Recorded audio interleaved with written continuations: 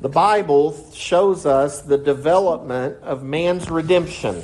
From the beginning of Scripture all the way through the end, we see how our redemption uh, develops, and it gives us a complete and marvelous plan by which we are redeemed. And it shows it to us step by step how all of that works out.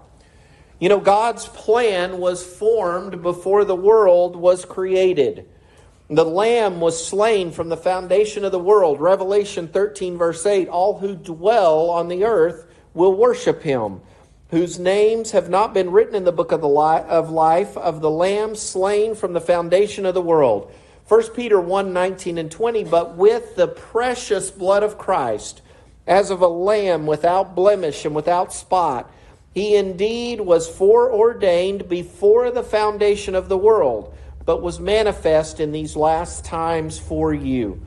The Lamb was slain before the foundation of the world. It was known that Christ was going to die. It was all planned before time began. 2 Timothy 1 verse 9, who has saved us and called us with a holy calling, not according to our works, but according to his own purpose and grace which was given to us in Christ Jesus before time began. God planned to choose those in Christ before the foundation of the world. You know, Ephesians 1 4, just as He chose us in Him before the foundation of the world, that we should be holy and without blame before Him in love. The church was part of God's eternal purpose. God knew that Christ was going to be sent to the earth. He was going to be slain. He, he, the church was going to be formed. He was going to have redeemed. Ephesians 3 10 and 11 says, To the intent that now the manifold wisdom of God might be made known by the church to the principalities and powers in the heavenly places, according to the eternal purpose which he accomplished in Christ Jesus our Lord. Heaven itself was prepared before the foundation of the world. Matthew 25, verse 34 Then the king will say to those on his right hand, Come, you blessed of my Father, inherit the kingdom prepared for you from the foundation of the world. God's plan is described as a mystery. You know, this plan existed. God knew the plan, but we didn't know the plan until it was revealed. Matthew 13, 34 and 35 says, All these things Jesus spoke to the multitudes in parables. And without a parable he did not speak to them, that it might be fulfilled which was spoken by the prophet, saying, I will open my mouth in parables. I will utter things kept secret from the foundation of the world. Romans 16, starting in verse 25, says, Now to him who is able to establish you according to my gospel and the preaching of Jesus Christ, according to the revelation of the mystery kept secret since the world began, but now made manifest, and by the prophetic scriptures made known to all nations, according to the commandment of the everlasting God, for obedience to the faith. To God alone, uh, to God alone wise be glory through Jesus Christ forever. Amen. This was a plan that was planned from the beginning. This was not an accident like some people, you know, some people will teach. Well, you know, God wanted the Jews, so he set up the Jews and that didn't work, so he came up with plan B. This wasn't plan B. The redemption of man and the plan for it was began was planned from before time began. It's always been God's plan to save us and redeem us. So let's walk through uh, this plan of redemption, starting in the beginning and going through the end. The title for this morning is Redemption from Beginning to End. Number one, we see from the beginning that man was responsible for keeping God's laws. God always wanted man to keep his laws, to honor his laws. And from the very first, man was told what to do and what not to do.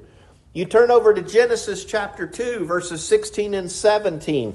And the Lord God commanded the man, saying, Of every tree of the garden you may freely eat, but of the tree of the knowledge of good and evil you shall not eat, for in the day that you eat of it, you shall surely, surely die. God laid out from the beginning this is what you are to do, this is what you are not to do. He gave them His commandments. but then man disobeyed. We see man's disobedience and we see the consequences that came from that. Uh, you know, Genesis chapter 3, starting in verse 17, Adam's, uh, then to Adam he said, Because you have heeded the voice of your wife, and have eaten from the tree of which I commanded you, saying, You shall not eat of it. Cursed is the ground for your sake. In toil you shall eat of it all the days of your life. Both thorns and thistles it shall bring forth for you, and you shall eat the herb of the field. In the sweat of your face you shall eat bread till you return to the ground. For out of it you were taken, and for dust you are, and to dust you shall return. You know, upon Adam and all men to follow, it brought fear, it brought pain, it brought grief in work, it brought us returning to the dust, and it brought a separation from the tree of life. Chapter 3, verses 22 through 24 Then the Lord God said, Behold, the man has become like one of us to know good and evil. And now, lest he put out his hand and take also of the tree of life and eat and live forever. Therefore, the Lord God sent him out of the Garden of Eden to till the ground from which he was taken. So he drove out the man, and he placed cherubim at the east of the Garden of Eden, and a flaming sword which turned every way to guard the way to the tree of life. There was now a separation. Man was given what he needed to do. He sinned, and the consequences were that we had to now till. We had to work hard to eat we would return to the dust. And we were separated from the tree of life. We were separated from being with God. In Noah's time, we know that it brought the destruction of all but eight souls. You know, Genesis chapter 6, verse 13, God said to Noah, The end of all flesh has come before me, for the earth is filled with violence through them, and behold, I will destroy them from the earth. Genesis chapter 8, verse 21 And the Lord smelled a soothing aroma. Then the Lord said in his heart, I will never again curse the ground for man's sake, although the imagination of man's heart is evil from his youth. Nor will I again destroy every living thing as I have done. You know, we had men during that day and age who, you know, became so evil and so corrupt that God was going to wipe everybody out, but he saved those eight people, and he vowed that he would never destroy uh, men, even though they were evil. You know, he would give us that choice, he would give us that ability. He would not wipe out the face of the earth again like that. You know, but the generations of Noah's sons at Babel showed the continual failure of men to obey God. We were commanded to be fruitful. We were commanded to multiply and fill the earth but they sought never to be scattered from each other. They wanted to be together. They wanted to create this big, large city with this temple instead of going and filling the earth like they were told to do. God confused their language so they would begin to do what He wanted them to do. We disobeyed again. God gave us this chance, and think about that. Uh, uh, think about that. The Tower of Babel, we're not real far removed from the flood. Yet men continued to do what they wanted to do. But God didn't stop. Secondly, we see a promise that God makes to the fathers. And God now starts to reveal his plan. And he starts to reveal his plan to, to the fathers. And he promises to bring forth a great nation from Abraham. He tells Abraham that uh, he promises to him the land of Canaan and he promises it to Abraham's seed. Genesis chapter 12, verses 6 and 7 Abraham passed through the land to the place of Shechem, as far as the terebinth tree of Moreh. And the Canaanites were then in the land. The Lord appeared to Abram and said, To your descendants I will give this land. And there he built an altar to the Lord who had appeared to him. First, though, they had to go sojourn in a land, in a foreign land, for 400 years. They went to Egypt. They were in Egypt, and while they were in Egypt, God multiplied their numbers. God blessed them, even though they were in slavery. God blesses them and creates this nation. And then in the day of Joshua, they finally receive that land. Joshua 21, 43 through 45. So the Lord gave to Israel all the land of which he had sworn to give to their fathers. And they took possession of it and dwelt in it. The Lord gave them rest all around according to all that he had sworn to their fathers. And not a man of all their enemies stood against them. The Lord delivered all their enemies into their hand. Not a word failed of any good thing which the Lord had spoken to the house of Israel, all came to pass.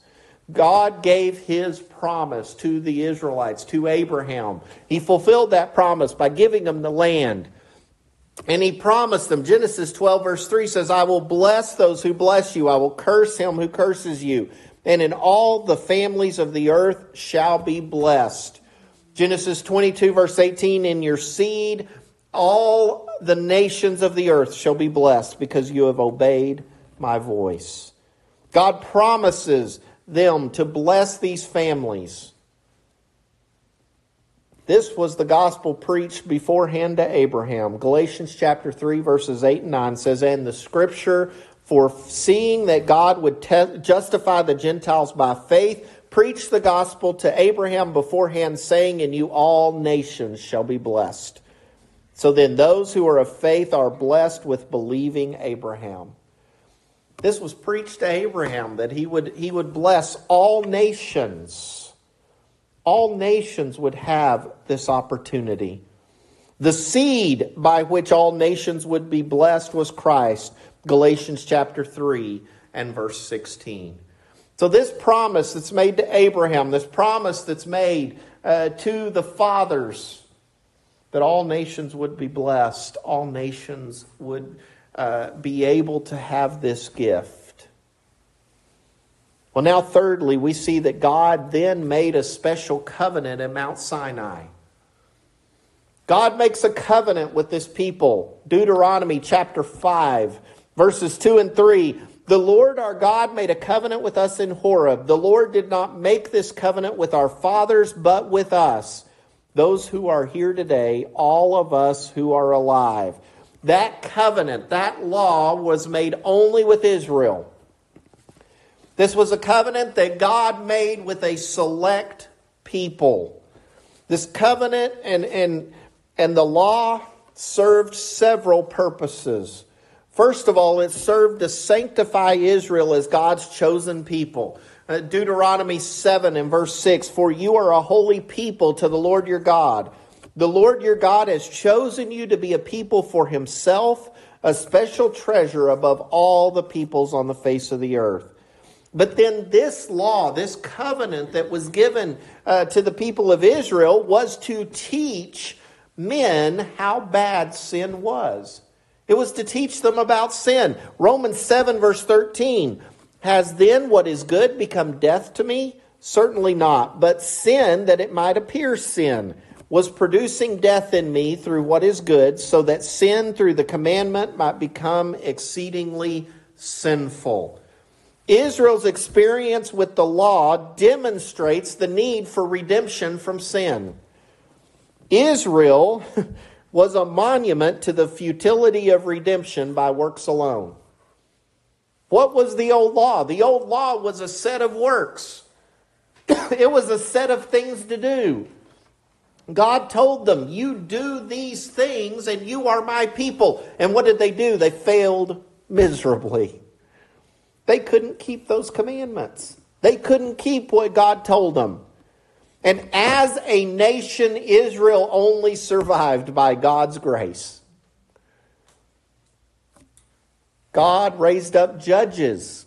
They were being oppressed. In Judges chapter 2, verses 8 through 23, he raises up these judges to come and to bring them out of that oppression, take them, uh, deliver them from their oppressors. he provides what they need, but it's not enough. They had the law. All they had to do was, was follow the law. They didn't do that. He sends judges to come and help them and deliver them. They didn't heed them. So then what did they want? They wanted a king. 1 Samuel chapter 8 verses 4 through 20. They come and they beg for a king. Everybody else has one. We need one. But their kings could not save them from apostasy, apostasy and captivity. God sent them prophets. The judges didn't save them. The kings didn't save them. He sends prophets to them.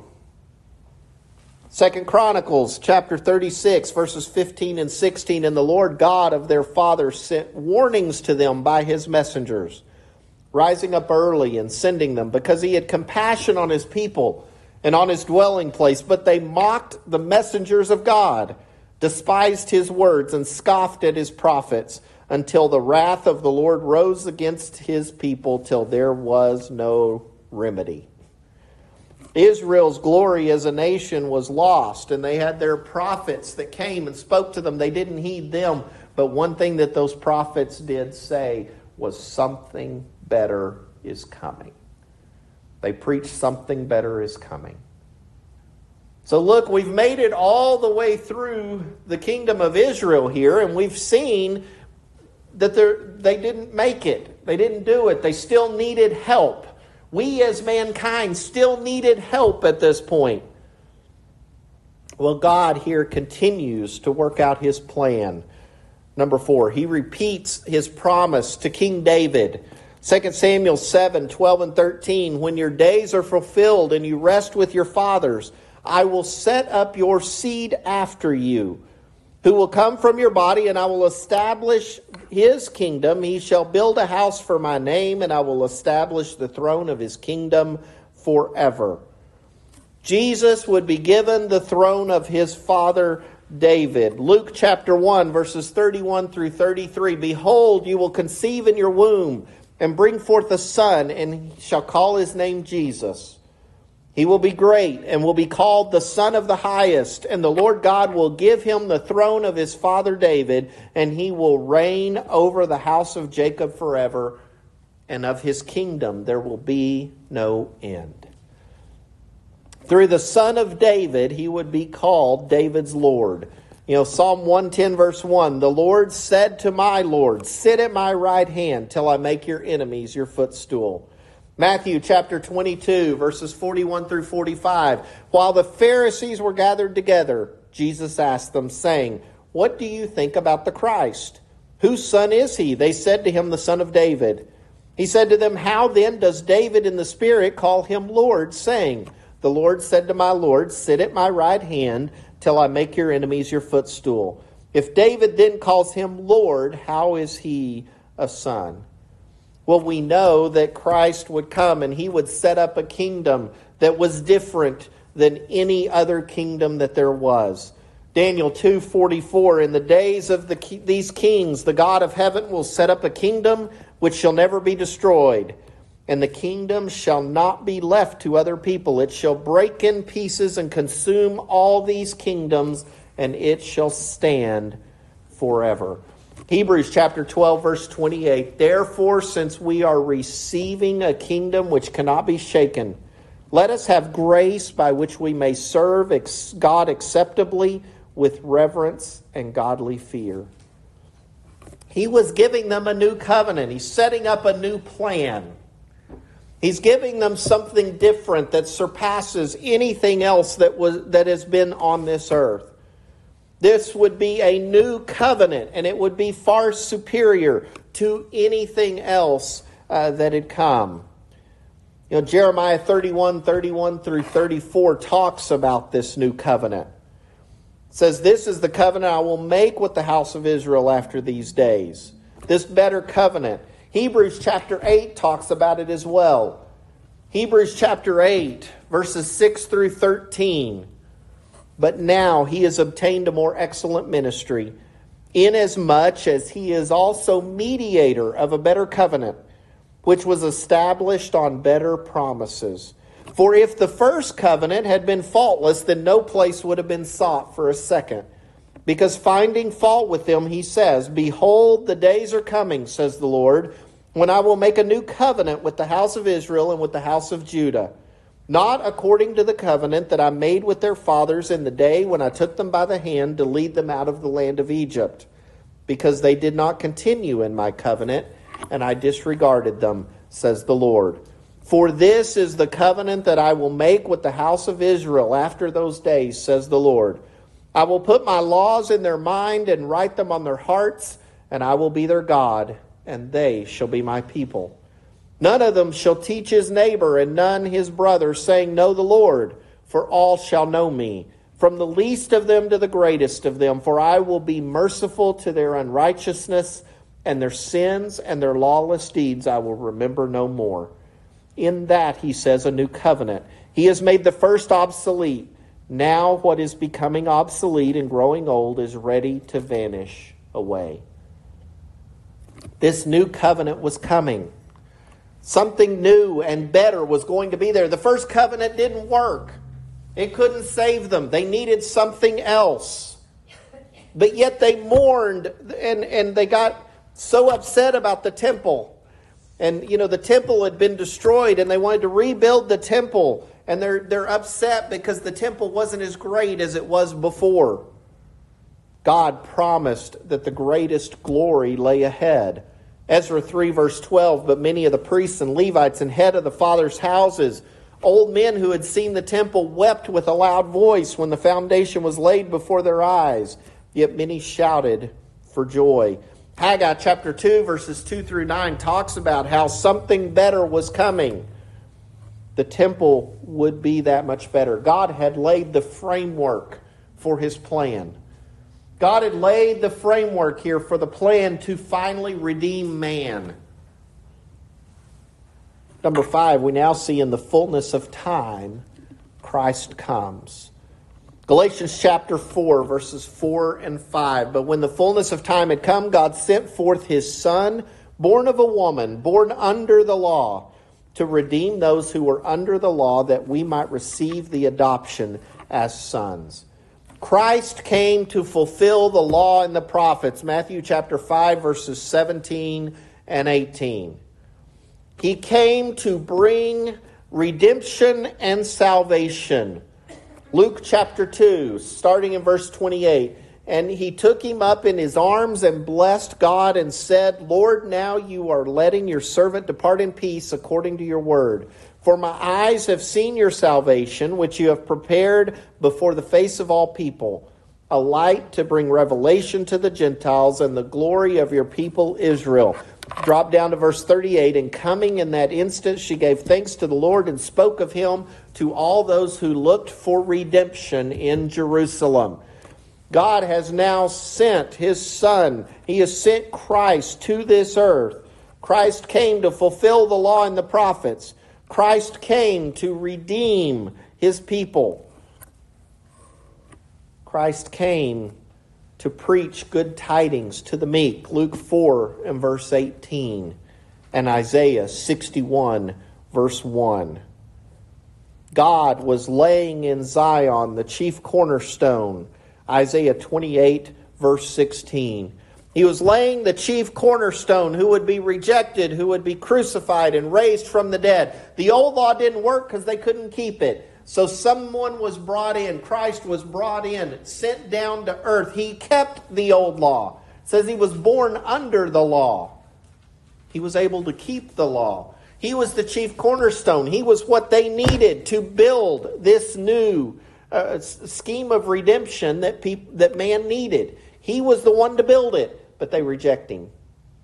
They rejected him. They crucified him and they raised him from the dead. Matthew 21 42, Jesus said to them, Have you ever read in the scriptures the stone which the builders rejected has become the chief cornerstone?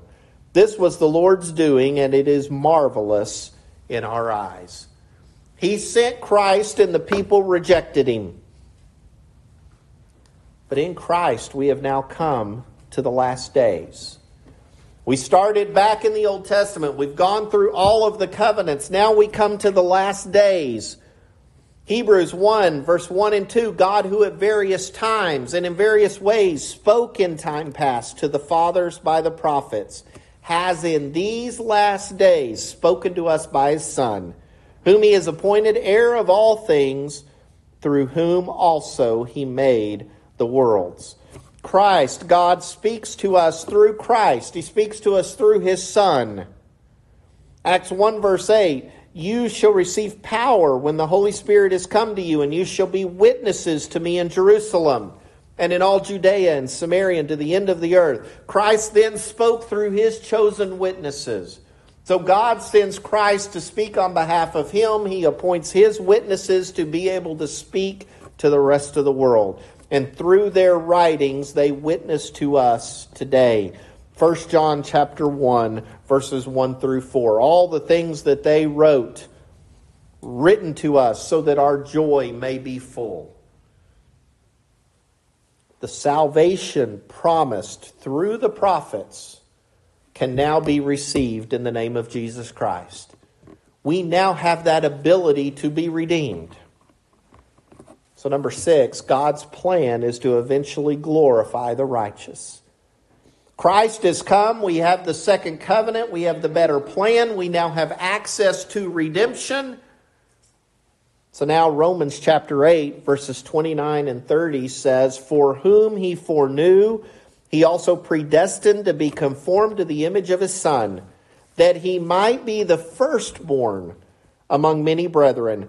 Moreover, whom he predestined, these he also called. Whom he called, these he also justified. And whom he justified, these he also glorified. We have been glorified when we are glorified when we obey Christ, when we do his will, when we accept his message. We are then glorified. John 14, verses 1 through 3, Christ talks about that he goes to a, to a place to prepare it for us. He goes and prepares that place for us. John 17, verse 24 Father, I desire that they also, whom you gave me, may be with me where I am. Christ wants all of us to be with him in glory. He has gone to prepare that place for us. He wants us to be there. Hebrews 11, verse 16, but now they desire a better, that is, a heavenly country. God has prepared a city for us. God has prepared this heavenly country for us. The sons of God await the redemption from the body. It's not something that's going to happen with us on this earth. It's not something that's going to happen while we're in our current bodies. It is something that's going to happen when our bodies are redeemed. Romans chapter 8, starting in verse 20 For the creation was subjected to futility not willingly, but because of him who subjected it in hope. Because the creation itself also will be delivered from the bondage of corruption into the glorious liberty of the children of God. For we know that the whole creation groans and labors with birth pangs together until now. Not only that, but we also, who have the first fruits of the Spirit, even we ourselves groan within ourselves eagerly awaiting for the adoption, the redemption of our body.